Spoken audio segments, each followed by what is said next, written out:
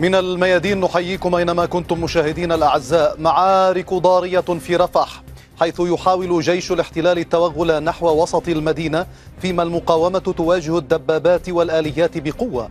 وأدخل الاحتلال لواء بسلماح خلال الأربع والعشرين ساعة الماضية إلى رفح وهو اللواء السادس الذي يقاتل هناك. وهذا ما يدلل على قساوة المعارك. في المقابل ينتقم الاحتلال بالمجازر في حق المدنيين. وفي شمال القطاع يواصل القصف على جباليا والمغراقة والنصيرات والزهراء. وفي جبهة الإسناد اللبنانية تواصل المقاومة الإسلامية دك مواقع الاحتلال ومستوطناته وشنت هجوما ناريا مركزا ومن مسافة قصيرة بالصواريخ الموجهة وقذائف المدفعية والأسلحة المباشرة. استهدف استهدف موقع رامية وكذلك شنت هجوما جويا ليليا بمسيرات انقضاضية على المرابض المستحدثة لكتيبة المدفعية 411 شرق نهارية استهدفت أماكن استقرار وتموضع ضباطها وجنودها وأصابت أهدافها بدقة, بدقة وأوقعتهم بين قتيل وجريح. حول الطائرات الانقضاضية وأهميتها سنتحدث في ميدانية اليوم. أما المقاومة الإسلامية في العراق فقصفت أهدافا في أم الرشراش جنوب فلسطين المحتلة بثلاث طائرات مسيرة. والقوات المسلحة اليمنية تستهدف ثلاث سفن في المحيط الهندي والبحر الأحمر. مشاهدينا في الميدانية اليوم معنا الخبيران العسكريان الأستاذ خالد غرير والعميد شربل أبو زيد. سيادة العميد أهلا بك معنا. والبداية معك كالعادة ومن الميدان وتحديدا من رفح حيث يعني تشتعل هناك المعركة ما بين الاحتلال الإسرائيلي والمقاومة الفلسطينية. لنقرب أيضا الصورة أكثر للمشاهد أين تتركز هذه المعارك في ظل دفع الاحتلال الإسرائيلي للواء سادس إلى رفح.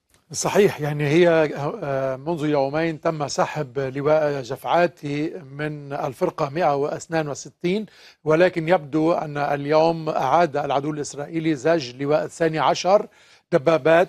على محور الهجوم الثانوي. فإذا لنعود ونذكر بأن محور الهجوم الرئيسي هو من هذه المنطقة باتجاه حي جنينة رفح. كذلك الأمر باتجاه حي السلام باتجاه رفح. هذا هو الهجوم الرئيسي.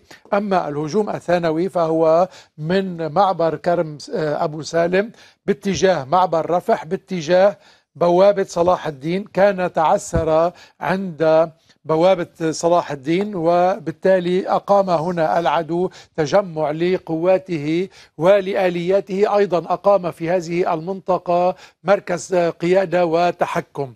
يبدو بأن القرار عند العدو الإسرائيلي اتخذ بأن تصل دباباته إلى حي زعرب هذه المنطقة. اليوم المعارك كانت على على أشدها. طيران العدو الإسرائيلي كان يغير على هذه المنطقة ونعني بها من بوابة صلاح الدين مفترق كير باتجاه حي زعرب. كذلك الأمر كانت الكواد كوبتر تعمل بشكل كثيف وخاصة يعني هي عبارة عن مسيرة للمراقبة وبنفس الوقت للقنص فكانت تقوم بعمليات قنص ليتمكن لتتمكن الدبابات من التوجه باتجاه حي زعرب تقدمت الدبابات من هذه المنطقة ووصلت إلى حي زعرب وتمركزت على تلة حي زعرب باتجاه مصر. وبالتالي هذه التلة هي تلة حاكمة مشرفة على منطقة سيناء من هذه الناحية. وبطبيعة الحال كونها تلة هي مشرفة باتجاه رفح من ناحية غرب رفح. المعارك اليوم تركزت على هذه المنطقة وبشكل كثيف. تركزت على حي السعودي باتجاه تل سلطان مخيم بدر وحي زعرب. كل هذه المنطقة كانت اليوم هي منطقة العمليات. الطيران العدو الإسرائيلي كان يغير على تل سلطان وعلى محيط مستشفى الإماراتي. فهذا هذا المستشفى أصبح اليوم خارج الخدمة بفضل يعني من من من تحت تأثير القصف قصف العدو الإسرائيلي في محيطه حيث استشهد اثنان من الطاقم الطبي في المستشفى الإماراتي كذلك الأمر مستشفى تل تل السلطان هنا أيضا خرج عن الخدمة. وكذلك الأمر مستشفى الكويتي اليوم خرج عن الخدمة. من الملاحظ بأن العدو الإسرائيلي يقوم بتدمير محيط المستشفيات والمراكز الطبية والعيادات. الهدف من ذلك هو الضغط على السكان للنزوح. من المعروف بأن السكان نزحوا بحسب الأونروا اليوم نزحوا باتجاه آه، خارج البراكسات باتجاه المواصي ومنها باتجاه دير البلح بحدود مليون نازح أصبحوا من رفح ومحيط رفح خلال ثلاثة أسابيع هناك مليون نازح نزحوا باتجاه شمال المواصي ولغاية دير البلح. طائرات العدو الإسرائيلي كانت تغير اليوم على العريبة وسقط في العريبة سبعة شهداء وستة جرحى. كذلك الأمر في حي الحشاشين كان هناك شهيدين وعدة جرحى في الحشاشين من جراء القصف الجوي. كذلك الأمر بالبراكسات للأسف هناك ما بين البراكسات والحشاشين والعريبة كان هناك أكثر من 16 شهيدا اليوم وخاصة ما يزال العدو الإسرائيلي يغير على خيم النازحين في منطقة البراكسات والحشاشين. فإذا اليوم المستشفيات خرجت عن الخدمة. تل سلطان أيضا آه، خرج عن الخدمة. حي السعودي انفجارات ضخمة في حي السعودي وقصف آه، قوي المقاومة بدورها. قصفت موقع هنا على بوابة صلاح الدين لقيادة قوات العدو الإسرائيلي وأيضا تجمع آلياته وجنوده مرات عدة بألهاون 60 ملم أيضا بألهاون 120 ملم على على بوابة صلاح الدين. كذلك الأمر على معبر رفح في هذه المنطقة تم صليها بالصواريخ أيضا على تجمعات العدو الإسرائيلي ولكن يبدو بأن العدو الإسرائيلي كما قلت استطاع اليوم الوصول إلى حي زعرب والتمركز في حي زعرب. هل من ناحية آه، الشرق من ناحية حي جنينة والسلام ما تزال المعارك تتركز ما قبل وسط آه، رفح. لم يصل العدو إلى وسط رفح من هذه المنطقة. يبدو كأننا أمام مشهد ألا وهو أن العدو الإسرائيلي يحاول من ناحية الهجوم الرئيسي تطويق رفح من ناحية حي جنيني وحي السلام من ناحية وأيضا عندما وصل إلى حي زعرب يبدو بأنه يريد تطويقها أيضا من ناحية الغرب لتصبح يعني آه، رفح مدينة آه، مطوقة من الشرق ومن الغرب نعم. ومن الجنوب كذلك الأمر هذه هي الصورة في منطقة رفح جنوب جنوب قطاع غزة ونعود ونذكر بحادثة الأمس التي حصلت على معبر آه، رفح والذي والتي ذهب ضحيتها جنديين أو شهيدين عم تسمح لي أن نعود إليها بعد قليل نعم. لأنه تأخرنا على الأستاذ خالد غرير أيضا أستاذ خالد هنا نسأل أيضا عن آخر التطورات في رفح ومواجهة المقاومة لهذا العدوان الإسرائيلي لأنه بحسب ما أفادنا الزملاء الآن أن هناك معارك ضارية بمحيط بلدية رفح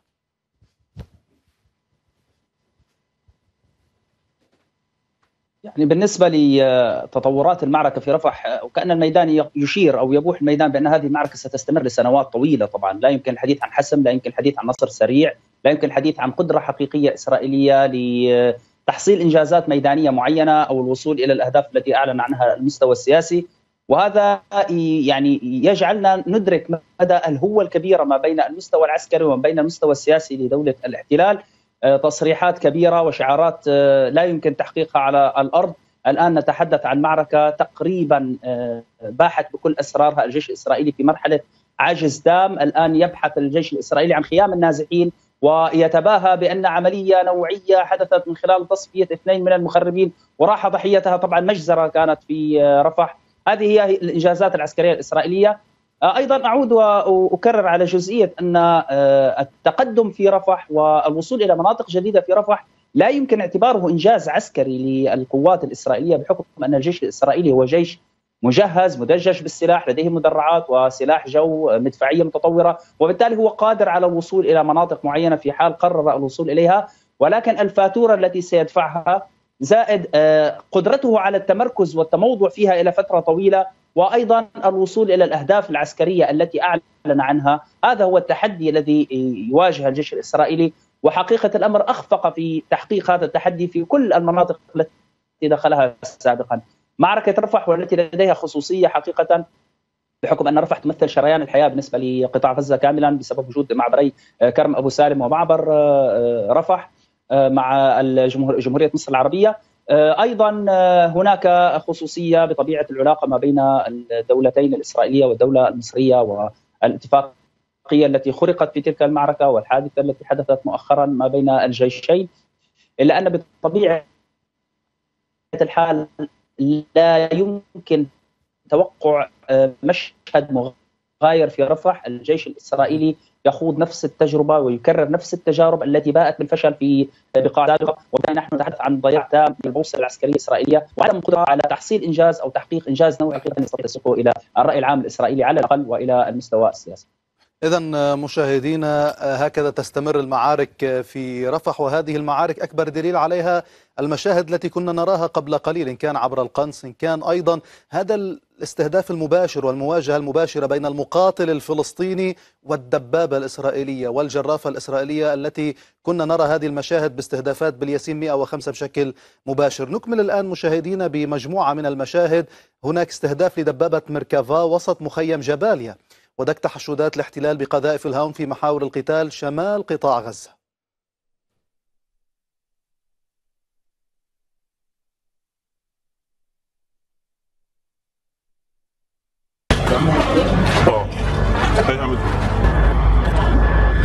بسم الله.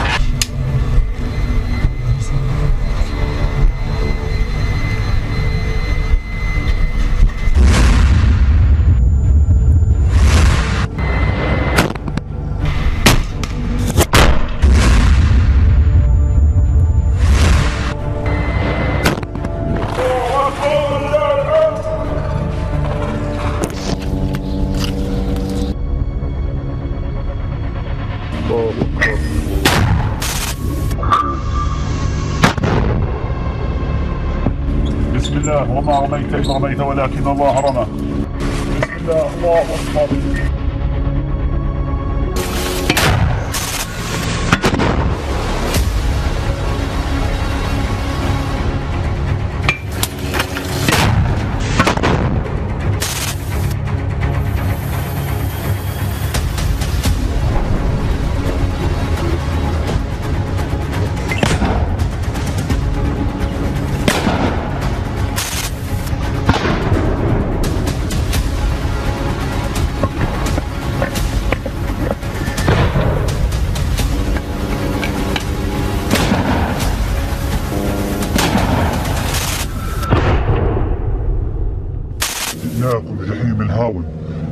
يا حرام عليكم.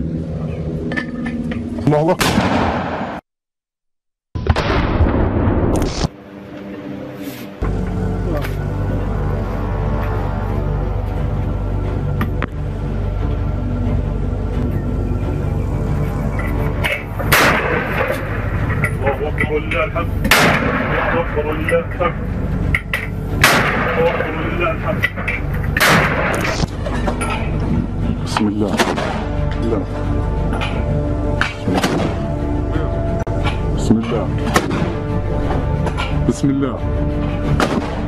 بسم الله.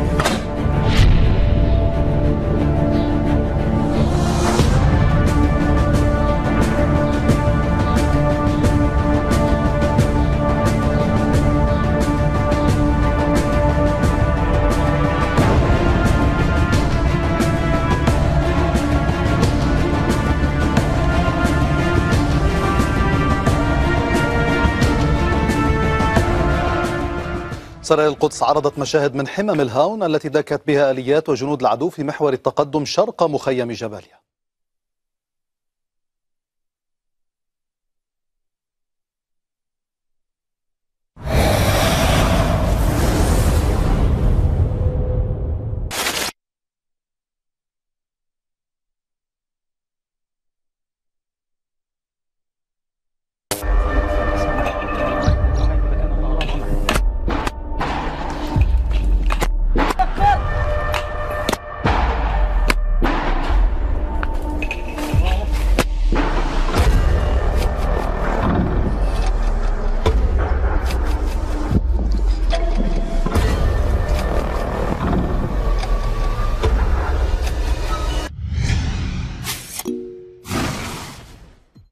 سرايا القدس عرضت أيضا مشاهد من قصفها تموضعا لجنود العدو الصهيوني في محيط مستشفى الصداقة التركي.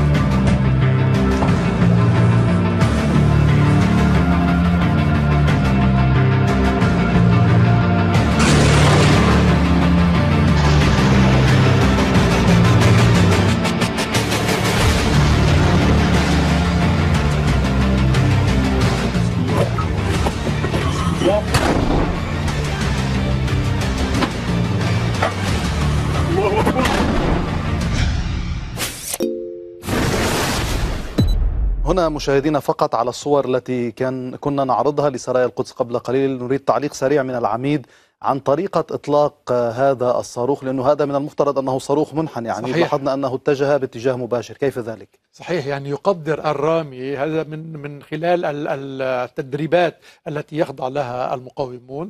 هم يعلمون بأن يمكن يعني رمي هذا الصاروخ بطريقة مباشرة. كيف ذلك؟ بوضعه على مزحف أحادي من خشب أو من حديد ومن ثم توجيهه بالنظر باتجاه الهدف المنظور أمامهم. أما الزاوية الخفيفة التي تعطى لهذا الصاروخ. ونحن نرى هذه المشاهد نعم. معك عميد وأنت على الشاشة. تفضل. فالزاوية هناك زاوية صغيرة. انظر ليس مزحف الصاروخ ليس أفقي بالتمام وإنما هناك زاوية صغيرة. هذه الزاوية الصغيرة يقدرها الرامي نسبة إلى مسافة قرب مسافة الهدف عن الرامي وبالتالي يقوم بإطلاق الصاروخ فيذهب بشكل كأنه موجه لأن الهدف مرئي ويصيب هدفه. وهذا دلالة على خبرة المقاومين هذه دلالة على خبرة. نعم أن نحن اليوم نتكلم عن اليوم ال 235 آه، على طوفان الأقصى. هناك غير التدريبات هناك ممارسة على الأرض آه، من 235 يوما. هناك مقاومون يقومون بالمعارك الحقيقية. وكما نقول نتدرب بأثناء التدريب ونتدرب حتى أثناء المعركة وهذا ما يتم هناك. طيب عميد هذه المجموعة من الصور التي عرضناها قبل قليل كلها لها علاقة بجباليا. هذه استهدافات صحيح. المقاومة الفلسطينية صحيح. في مناطق في جباليا. في جباليا انسحب الاحتلال الإسرائيلي من منطقة الفلوجة بالرغم من القصف الهستيري على جباليا. ما الذي حصل في شمال قطاع غزة تحديدا في جباليا عميد إذا أردنا أن نقرب المشهد والصورة نعم. للمشاهدين يعني الذين يتابعون عندما نتحدث عن جباليا نتحدث عن معركة مركافا عن عن مجزرة للمركافا يعني آه، العدو الإسرائيلي منذ حوالي الأسبوعين ولغاية اليوم تكبد أكثر من آه، 30 مركافا غير آليات نمر وسواها من آليات نقل الجنود في منطقة المعسكر ونعني بها مخيم جباليا في هذه المنطقة. لماذا؟ يعني يجب التركيز على أن المعركة هي معركة لا متماثلة. يعني كما رأينا مثلا في رفح ممكن أن يسمح المقاومون بدخول آليات العدو من دبابات وخلافه وناقلات جند وجيبات وخلافه إلى بعض المناطق. هذه يعني حرب أنفاق حرب درائق يعني هناك دريئة هناك منزل مهدم هناك أبنية مهدمة. المقاومون يت- يتحصنون في هذه المباني أو تحت الأرض في الأنفاق. ممكن أن يدخل العدو إلى منطقة ولكن هناك استحالة لبقاء العدو في أي منطقة. لماذا؟ لأن العدو لا يعلم من أين يخرج عليه المقاوم ويقوم بتدمير دبابته أو ناقلة جنده أو يقصفه كما رأينا بالفيديو منذ قليل. بالهاون 60 ملم هاون 60 ملم هو على مسافات قريبة هو آه، قذيفة صغيرة ولكنها شديدة التشظي والتأثير على المشاة. فإذا المقاومون يقومون بصلي العدو بالأسلحة المناسبة وبعمليات كر وفر تكبد العدو الخسائر. وهذا ما رأيناه في جباليا عندما تكبد العدو أكثر من 30 دبابة مركبة وآلية نمر وسواها من الآليات. فإذا المعركة ليست بأن تدخل ولكن بأن تثبت. مثلا ما حصل اليوم؟ نحن نعرف بأن كان هناك ثلاث محاور محور من باتجاه جبل كاشف محور من تل الزعتر باتجاه شارع السكة ومحور من بيت لاهيا باتجاه الفلوجة هذا ما نعلمه. وكانت بقعة العمليات هي التالية. هذه البقعة من الفالوجة باتجاه العجارمة باتجاه حي السكة ضمن القصاصيب. هذه المنطقة يعني المنطقة الجنوبية من مخيم جباليا كانت هي منطقة العمليات. بالمبدأ. ما حصل في الفلوجة كان هناك البارحة معارك ضارية عنيفة وعلى مسافات متقاربة. بطبيعة الحال كان هناك شهداء للمقاومة. نحن نتكلم عن معركة ضارية عن عدو يستعمل بشراسة طائراته والكوادكوبتر. مثلا اليوم كانت الكوادكوبتر تقصف في في الفلوجة المواطنين العائدين إلى منازلهم بعد انسحاب العدو الإسرائيلي فتكبد المواطنون الشهداء. فإذا العدو الإسرائيلي من ناحية هو لديه التقنية الحديثة من سلاح جو ومن كوادكوبتر وإلى ما هنالك ولكن المقاومة دفعته الثمن بجنوده. نحن لا ننسى منذ ثلاثة أيام عملية جباليا والأسر الأسر يعني نحن نتكلم بدل ما أن يستطيع العدو الإسرائيلي يعني آه، آه، يعني استعادة الأسرى استعادة أسرى هو يضيف أسرى على هذه الأسرى وهذا ميزة العمليات اللامتماثلة في آه، جباليا هذا يدرس في الجامعات العسكرية في في المستقبل. فإذا في جباليا كانت المعركة البارحة عنيفة لدرجة أن العدو الإسرائيلي اضطر إلى الانسحاب اليوم من الفالوجة باتجاه شمال بيت لهيا. وكما قلنا حاول هو انسحب عفوا عميد هذه مهمة. هو انسحب تحت وطأ الضربات المقاومة الضربات وليس انسحب هو تكتيكيا. لا لا أكيد. ما تكبد البارحة أكثر من أربعة دبابات على هذا المحور فقط لا غير.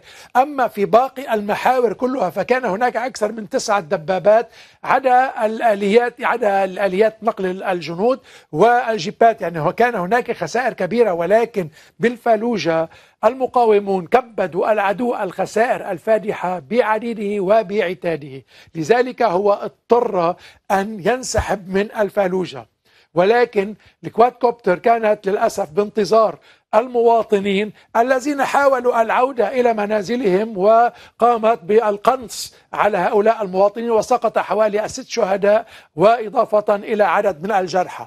نعيد ونشدد بأن العدو الإسرائيلي يركز على تدمير وعلى خروج المستشفيات آه، من الخدمة. وهذا ما حصل اليوم في المستشفى الأندونيسي حيث أيضا اليوم خرج عن الخدمة. يعني نتذكر بأن جنوب آه، قطاع غزة وفي رفح تحديدا هناك ثلاث مستشفيات خرجت. اليوم أيضا في مستشفى الأندونيسي خرج. لماذا؟ لأنه لم يعد هناك لا وسائل طبية لمعالجة المرضى.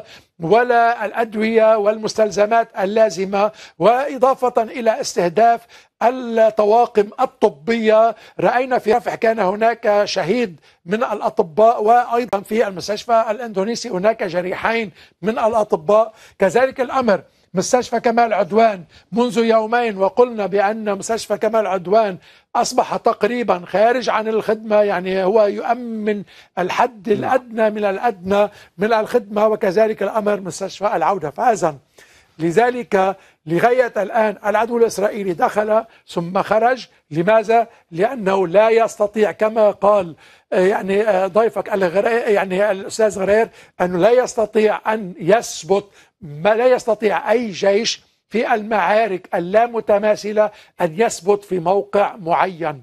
وهذا قاعدة نعم. عامة. وهذا آه، ما يعني أنه ليس هناك نصر عسكري حاسم ليس كما هناك بالعكس هناك, هناك ولن يكون هناك في جباليا. هناك هزيمة على مستوى قطاع غزة أيضا ككل آه، عميد ومشاهدينا. نكمل الآن في سياق المشاهد التي توثقها المقاومة الفلسطينية سرايا القدس أيضا عرضت مشاهد من حمم الهاون التي دكت بها جنود العدو وآلياته المتوغلة جنوب مدينة رفح.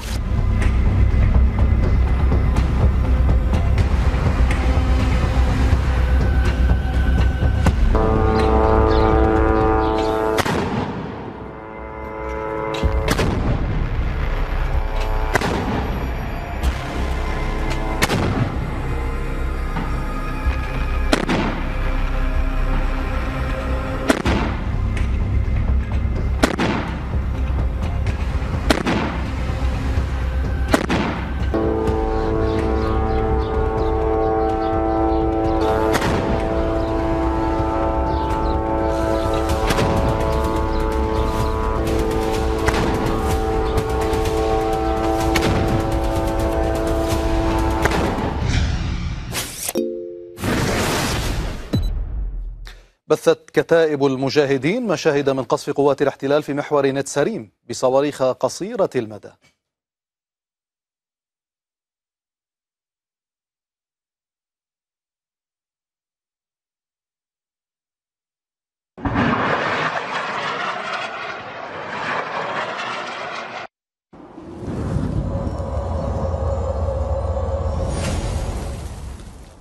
كتائب القسام نشرت فيديو بعنوان جنود لواء أعقاب الفولاذ 401 المجرمون علامات أحذية جنود القسام لا تزال بارزة في وجوهكم.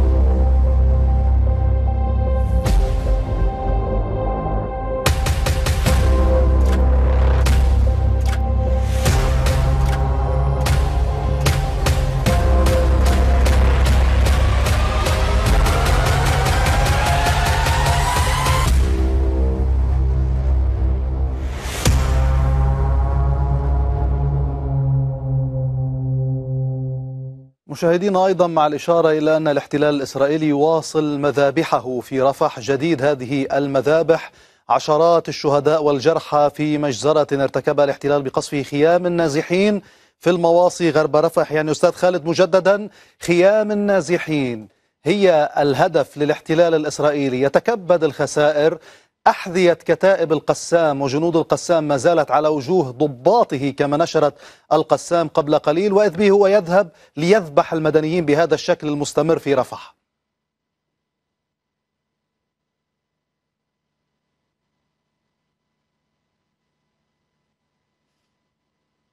أستاذ خالد. يبدو أن أستاذ خالد لا يسمعنا عميد إذا هذا المشهد يتكرر. المشهد المشاهد التي نشرتها كتائب القسام بخصوص الضباط والعبارة التي أوردتها أيضا في هذا المقطع الفيديو. هذا لافت له دلالات أن ضباط الاحتلال الإسرائيلي أحذية مجاهدي القسام ما زالت على وجوه هؤلاء وهو ينتقم بهذا الشكل.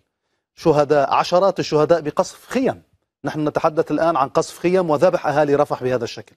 نعم يعني عندما يخسر دائما العدو الإسرائيلي يلجأ دائما إلى قتل الأطفال والنساء وهذا معروف بسياسة جزء العشب عند العدو الإسرائيلي. ورأينا بأن اليوم التالي ل يعني حادثة جباليا التي أسر بها المقاومون وقتل وجرح أكثر من 16 جنديا وضابطا إسرائيليا. كان في اليوم الثاني يعني القصف الجوي على خيم النازحين في البراكسات شمال غرب رفح. والعدو الإسرائيلي كل ما كان هناك يعني إهانة له ولجنوده وانكسار وخسارة يلجأ إلى قتل الأبرياء وخاصة النساء والأطفال. والمشاهد لا تستطيع أن يعني لا يستطيع العدو تكذيبها والعالم ككل يراها. لذلك نحن نرى بأن نتيجة ذلك هناك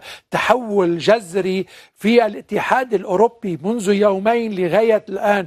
هناك أصوات في كافة دول الاتحاد الأوروبي تدعو العدو الإسرائيلي لوقف هذه المجازر وبعدها الاتحاد الأوروبي يدعوها بالمجازر. وهذا حتى اليوم جوزيف بوريل منسق السياسة الخارجية في الاتحاد الأوروبي. دعا هذا ما يحصل في خيم النازحين بالمجازر التي يتم ارتكابها من قبل العدو الإسرائيلي ودعاه إلى إيقاف هذه المجازر. فأذن وأيضا حتى أنه تدخل نعم. مباشرة مع وزراء خارجية دول الاتحاد الأوروبي لإعادة المراقبين مراقبي الاتحاد الأوروبي إلى رفح. يعني هناك رأي عام عالمي بدأ يتغير وهذا من نعم. نتائج خسارة العدو الإسرائيلي وكيانه أمام العالم ككل على كل حال هذا الرأي العام العالمي نراه أيضا يتحرك في الشوارع ولكن للأسف الشديد هذا الرأي العام العالمي الذي نراه يتحرك في أوروبا والولايات المتحدة والغرب بهذا الشكل عند قيام الاحتلال الإسرائيلي بهذه المجازر وهذه المذابح نحن لا نرى نفس المشهد للأسف الشديد في الدول العربية والإسلامية بالرغم من أن هذه المجازر مستمرة في قطاع غزة كما حصل في مستشفى المعمداني عندما نزلت الجماهير إلى الشوارع. أعتقد أيضا أن هذه الجماهير بحاجة إلى أن تتحرك في ظل استمرار هذا القتل يا أستاذ خالد الغرير. ولكن هذا المشهد أستاذ خالد ولو بدقيقة الذي نشرته كتائب القسام أولا أنها حددت أسماء الضباط ورتب الضباط ونشرت صورهم بهذا الشكل وقالت أحذيت كتائب القسام أحذيت مجاهدي القسام ما زالت على وجوه هؤلاء. لهذه لهذا المشهد أيضا دلالات كبيرة. ما هي؟ أه لماذا اختارت كتائب القسام اللواء 401 401 هو لواء أه عكفوتها برازيل أي أعقاب الحديد بمعنى أن عدو هذا اللواء كل ما يستطيع أن يشاهده هو آثار هذا اللواء وستبقى في ذهنه لفترة طويلة. هنا كتائب القسام تريد أن توجه ضربة إلى هذا اللواء وإلى تراث هذا اللواء وإلى هيبة الجيش الإسرائيلي بشكل عام. شاهدنا أنها وضعت ال badge أو اللوجو وآثار حذاء لمجاهدي القسام على هذا الشعار وبالتالي هي كانت تتعمد أو تتقصد إيصال صورة مفادها أن كل ما تعملونه وهم. يعني هذه الدعاية وهذا التطبيل للجيش الإسرائيلي هو وهم وعلى أرض الميدان المقاومة هي الأقوى. وبالتالي كان الاختيار للواء 401 اختيار موفق. وآثار فعلا كتائب أو أبناء القسام على هذا اللواء واضحة وكانت نخبة من قيادات وضباط هذا اللواء ضحايا كانوا قد قتلوا حقيقة الأمر ضحايا الوهم الإسرائيلي وضحايا هذه البروباغندا الزائفة لقوات الاحتلال. فيما يتعلق بالمناطق النازحين وتكرار استهداف القوات الإسرائيلية للنازحين هذه طريقة تحاول قوات الاحتلال من خلالها التشفي والانتقام لخسارات ميدانية حقيقية ومذلة ومؤلمة بالنسبة للإسرائيليين من خلال استهداف المدنيين وارتكاب المجازر يعني لعل ذلك يضغط أكثر على المقاومة وقيادات المقاومة ويعني ترى بأنه ليس هناك أمامها مجال إلا الاستسلام وإلا فإنها ستستمر بالقتل، طبعا هذا جريمة حرب، هذا شكل من أشكال الإجرام والدموية الإسرائيلية.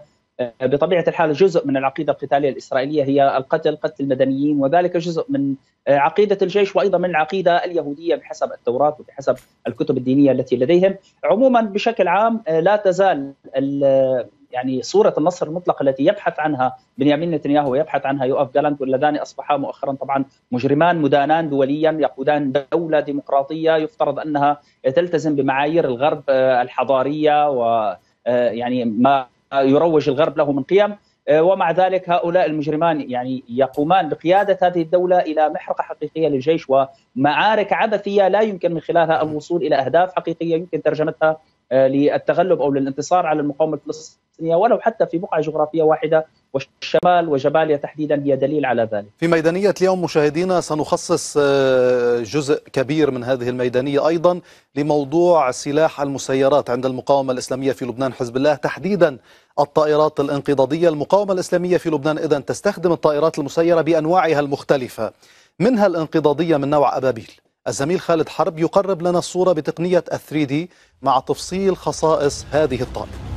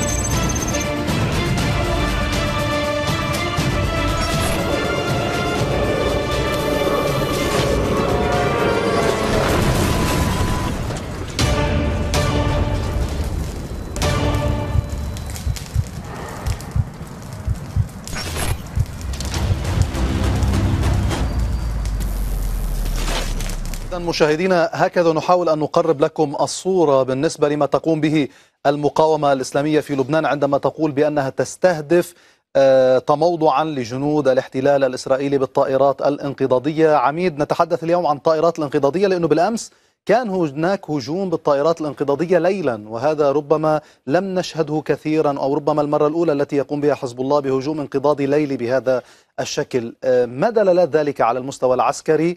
وأيضا كيف تعلق على هذا الفيديو الذي رأيناه قبل قليل؟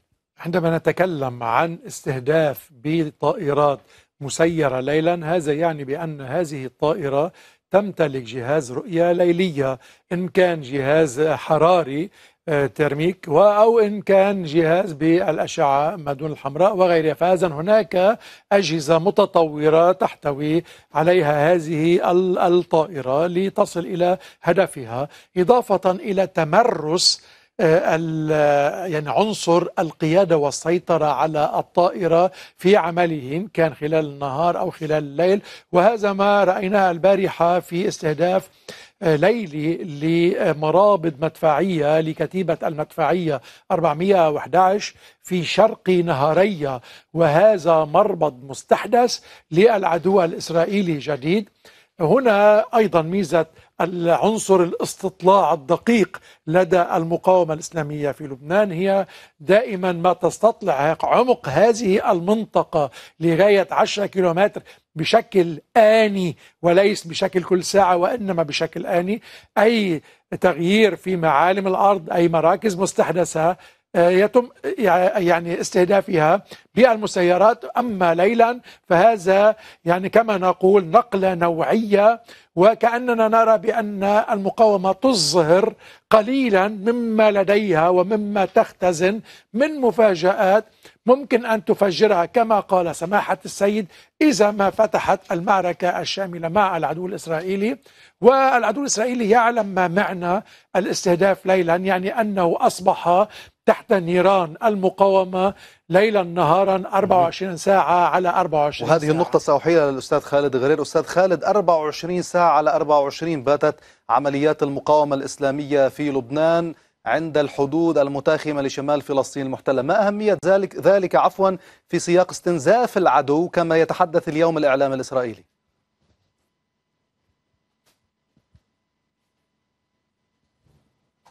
أستاذ خالد.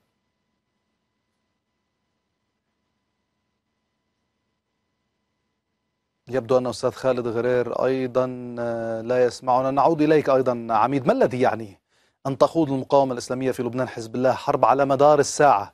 الآن نحن نتحدث لم نعد نتحدث عن جبهة إسناد فقط. ربما هذه حرب على مدار ال 24 ساعة بمختلف أنواع الأسلحة. نتحدث عن استخدام الطائرات بمختلف أنواعها خاصة الانقضاضية منها. نتحدث عن استخدام قذائف المدفعية. نتحدث عن استهداف بالصواريخ يعني تصل أحيانا إلى 100 صاروخ أيضا. بالنهار ومدايات وصل شعاعه تقريبا إلى حيفا. ما الذي يعني ذلك؟ 35 كيلومترا إلى قاعدة الإيلانية عندما ضربت المقاومة المنطاد الشهير في الإيلانية. و... وأيضا ضربته ليس فقط بطائرة مسيرة هي هذه التي تم عرضها الآن على الشاشة. أبابيل ولكن تم تركيب على هذه الطائرة. صاروخي أس 5 صواريخ روسية وأس 5 كي المضادة للدروع. وتم أيضا إطلاق الصواريخ وكانت عملية مركبة.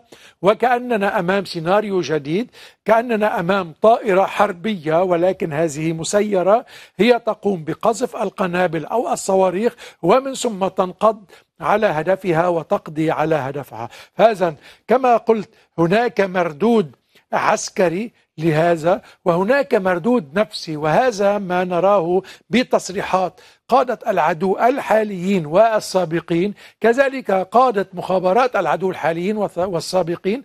عندما يتكلموا بأن هناك العديد من سكان منطقة الشمال وأكثر من 40 إلى 50% من سكان منطقة الشمال لا يرغبون العودة بتاتا إلى هذه المنطقة صحيح. وهذا خلق مشكلة كبيرة أساسية للعدو الإسرائيلي اليوم السلطات السياسية للعدو الإسرائيلي تبحث عن حلول لهؤلاء وبالتالي يعني إضافة إلى أن العنصر الأساس من كل ذلك أن المقاومة بالرغم من أنها لم تدخل بعد إلى أراضي فلسطين المحتلة ولكنها نقلت المعركة إلى أراضي فلسطين المحتلة. يعني اليوم المعركة لغاية 35 كيلومترا أصبحت مفتوحة ما بين الحدود اللبنانية وما بين الإيلانية على شواطئ آه، يعني بحيرة طبرية وما بعد طبرية. ويعني عندما تصل تدريجيا الأمور هي بدأت كما قلنا على خمسة كيلومتر ثم أصبحت مع قاعدة ميرون على عشرة كيلومتر الآن نراها. ممكن أن نقرب الصورة أكثر عميد عبر الخريطة للمشاهدين وخاصة نعم، بموضوع آخر الاستهدافات يعني. التي قامت بها المقاومة الإسلامية؟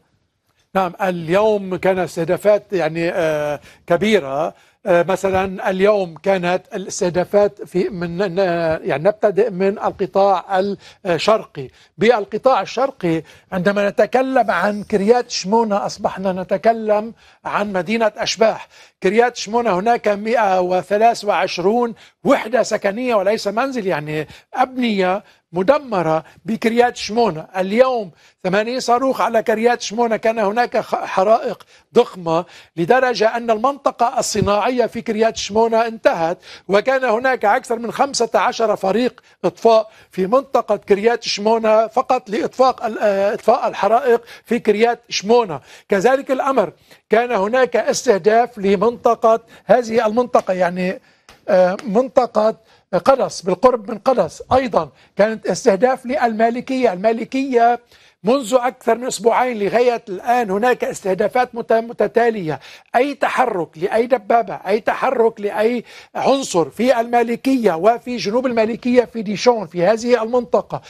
يعني تقوم المقاومة باستهدافها البارحة. كان هناك تدمير دبابة مركافة أربعة ما بين ديشون والمالكية. فإذا المالكية لا أجهزة تجسسية. هناك إعماء بالكامل على طول الجبهة وخاصة في المالكية. كذلك الأمر اليوم كان هناك بمزارع شبعة هطلات على مزارع شبعة إضافة إلى الصماقة الرمتة آه، آه، زبدين. كل هذه السكنات يوميا تتعرض لقصف. العدو الإسرائيلي ممنوع عليه وضع أي جهاز تجسسي أو أي وسائل مراقبة في هذه المنطقة من جبل الشيخ من من موقع الرادار نزولا إلى الناقورة. أما في هذه المنطقة كان اليوم استهداف المقاومة لمنطقتين جديدتين. هي هذه المنطقة آه، تسفعيون وسفسوفة هذه المنطقة أيضا كانت هناك استهداف في هاتين المنطقتين بالصواريخ وتم تحقيق آه، أهداف على أهداف عسكرية في هاتين المنطقتين. إضافة إلى قاعدة ميرون التي هي في هذه المنطقة. تم استهداف قاعدة ميرون يعني آه، المقاومة حرمت العدو الإسرائيلي من إحدى قواعده الأساسية التي كان يعتمد عليها ليس فقط في لبنان وإنما في سوريا وفي وما بعد سوريا وأيضا جنوبا باتجاه مصر وحتى باتجاه البحر الأبيض المتوسط وباتجاه جزيرة قبرص وغيرها. فإذا هناك أيضا كان استهداف لميرون اليوم كذلك الأمر للراهب وهنا في هذه المنطقة. قرب زرعيت. وأيضا كما قلنا شرقي نهارية هذه العملية الليلية ولكن كان هناك اليوم عملية أيضا مركبة على بال- بالصواريخ وبالمدفعية على رامية. رامية هي هنا في هذه المنطقة رامية. أيضا هذه للمرة الثانية المقاومة تستهدف منطقة رامية موقع رامية على مسافة قريبة. الاستهداف ليس من مسافة بعيدة آه، ما يعني يعني كأن ذلك؟ المقاومون يصلون إلى السياج ال- الحدودي ما بين لبنان وفلسطين المحتلة من بالقرب من موقع رامية ويقومون بصلي هذا الموقع بالصواريخ الموجهة الدقيقة وبزخات من قذائف المدفعية. عملية مركبة تم تدمير الهدف العسكري اليوم أيضا في رامية للمرة الثانية. عملية مركبة على رامية ولكن ما كنت أقوله هذه هي عمليات اليوم ما كنت أقوله بأن كل هذه المنطقة أصبحت لغاية بحيرة طبرية على بعد 35 كيلومتر تحت مرمى وسيطرة المقاومة في لبنان. وهو اللافت جدا أيضا هذا الجهد الاستخباري الهائل الذي تخوضه المقاومة لا الإسلامية. عمليات دون جهد استخباري. وهذا لافت يعني هو العنصر جداً. لنجاح العملية. يعني خاصة إذا تذكر عميد عملية عرب العرامش التي كانت آنذاك فيها مجموعة من الضباط والجنود واستهدف حزب الله الاجتماع آنذاك وهذا كان مؤشر كبير على أيضا أهمية هذا العامل عامل الاستخبارات والجهد الذي يبذله حزب الله أيضا في هذا السياق. مشاهدينا على مستوى جبهة الإسناد العراقية المقاومة الإسلامية في بلاد الرافدين أكدت ضربها أهدافا عسكرية في إيلات أم الرشراش في الأراضي الفلسطينية المحتلة. وأضافت المقاومة في بيان أن العملية جرت باستخدام ثلاث طائرات مسيرة وذلك استمرارا في نهجها بمقاومة الاحتلال ونصرة لأهالي غزة وردا على مجازر الاحتلال بحق المدنيين الفلسطينيين.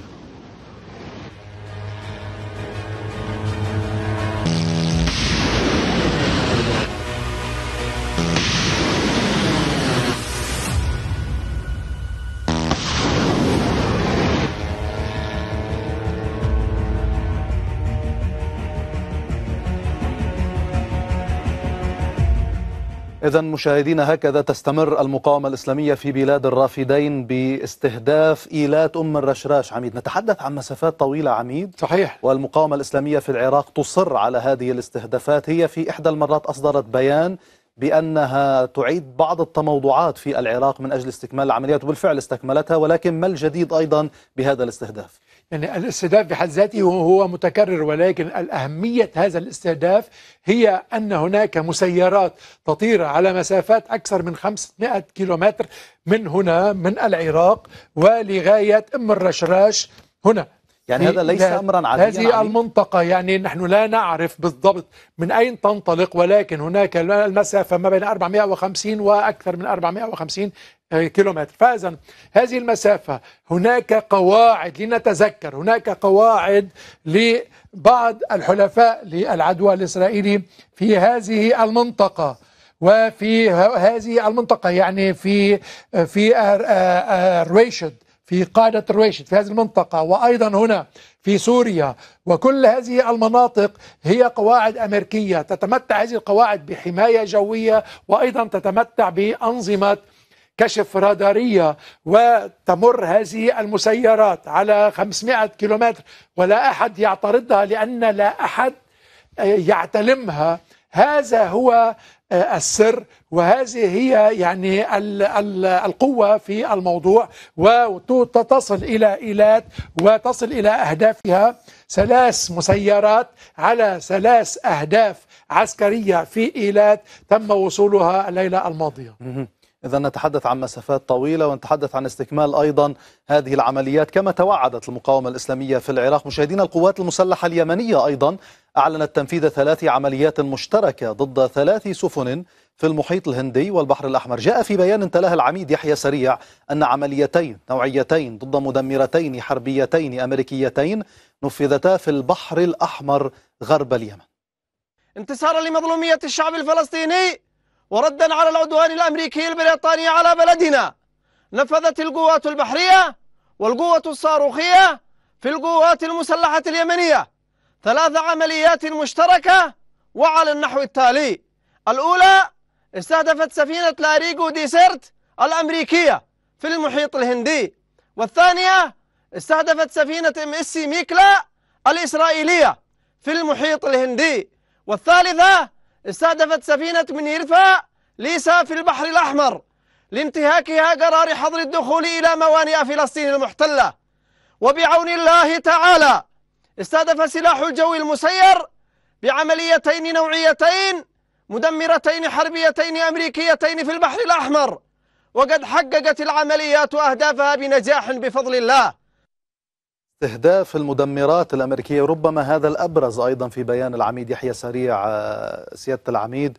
ما الذي يعنيه استهداف المدمرات الأمريكية؟ وهذا ممكن يعني اليمن أن يستهدف المدمرات الأمريكية. ما الذي يعنيه ذلك؟ آه نعم يعني ليست المرة الأولى دائما ما تستهدف القوات المسلحة اليمنية المدمرات الأمريكية ومدمرات التحالف في البحر الأحمر. كذلك الأمر في خليج عدن وهذا ما دفع بحاملة الطائرات إلى الانسحاب إلى البحر الأبيض المتوسط منذ أكثر يعني أيزنهاور منذ أكثر من شهر ونصف. هي غادرت هذه المنطقة وأصبحت في البحر الأبيض المتوسط. لماذا؟ لأن بطبيعة الحال المدمرات والحاملات الطائرات تتمتع بأجهزة آه، دفاع جوي متطورة وقوية ولكنها مكلفة جدا وهذا ما نعود على مبدأ الحرب الكلفة والمفعول. هناك كلفة كبيرة لمسيرة صغيرة. القوات اليمنية تستهدف وقد اعترفت آه، القيادة الوسطى باستهداف المدمرات بمسيرات وبصواريخ باليستية. يبدو بأن بعض منها أصاب أهدافه والبعض الآخر تم اعتراضه من قبل المدمرات. كذلك الأمر سفينتين في المحيط الهندي الذي اللتين يعني ذكرهما وأيضا سفينة في البحر الأحمر إضافة إلى المدمرتين. قبل الظهر اليوم كان هناك استهداف لسفينة هنا بعد الباب المندب على بعد 100 كيلومتر من الحديدة من هذه المنطقة. وأيضا هذا باعتراف هيئة آه، البريطانية آه، البحرية في هذه المنطقة. فهذا القوات اليمنية بمرحلتها الرابعة هي طبقت القول بالفعل تستهدف كل هذه السفن من المحيط الهندي إلى البحر الأحمر وهذا ما حدا بالسفن الغاز الأمريكية إلى المرور عبر رأس الرجاء الصالح. هناك منذ مطلع آه، هذا العام لغاية اليوم 123 سفينة غاز لم تستطع المرور هنا وإنما مرت عبر رأس الرجاء الصالح وبالتالي تكبدت آه، الخسائر المادية الكبيرة إن كان من ناحية التأمين وإن كان من ناحية طول المدة وإن كان من ناحية شروط النقل. فهو بالتالي هذه نعم. العملية هي عملية فعليا تطويق العدو الإسرائيلي من ناحية خليج عدن والبحر الأحمر. ومع جبهة الإسناد اليمنية نصل اليوم إلى ختام الميدانية. كل الشكر لك العميد شاربل أبو زيد والشكر أيضا للأستاذ خالد غرير مشاهدينا كان معنا أيضا في هذه الميدانية. والشكر الأكبر والدائم لكم مشاهدينا إلى اللقاء.